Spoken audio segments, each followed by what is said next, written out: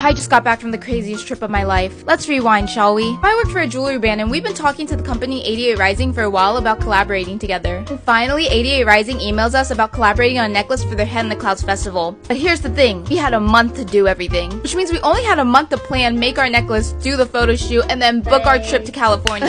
then the OHT team hopped on the plane to California and I was so excited because I love how chill California is, but I was wrong. I did not get to chill. As soon as we got off the plane in the morning, we had to head over to the festival and set up our booth. Things were just not working out for us, okay? The booth This was so not bad. looking that great. But the booth really came together and people were enjoying it. But then we came into another dilemma. The last day of the festival, all our necklaces that we had brought got stolen. But we had to look on the bright side because with the necklaces we did have, we were able to gift it to artists like Zed, Millie, Rich Brian. This has honestly been the most exciting thing that's happened to me this summer.